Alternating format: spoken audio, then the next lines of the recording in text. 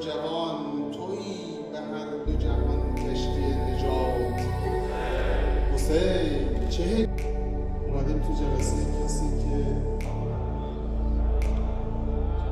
شب زیارت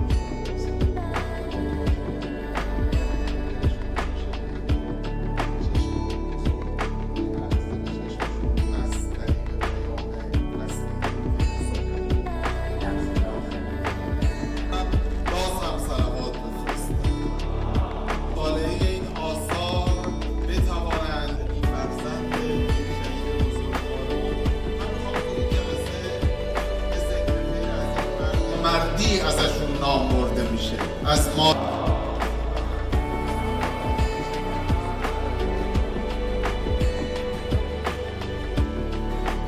ربنا اغفر لنا ولإخواننا الذين سبقونا بالإيمان.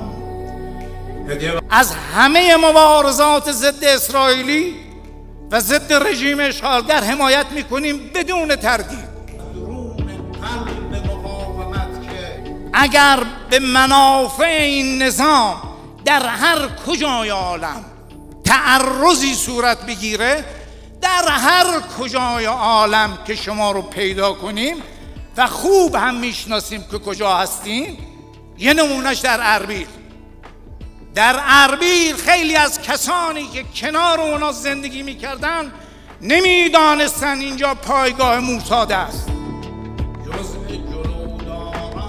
رهبران نادان سعودی انقدر باید فهم داشته باشند که هشت سال این جنگ رو با استفاده از امکانات همه دنیا ادامه دادن. هر روز رفتن عقبتر و هر روز این میدان بچه های یمن جلوتر اومد. اینقدر فهم داشته باشن که این جنگ جنگی نیست که یک روزم به نفع شما باشه.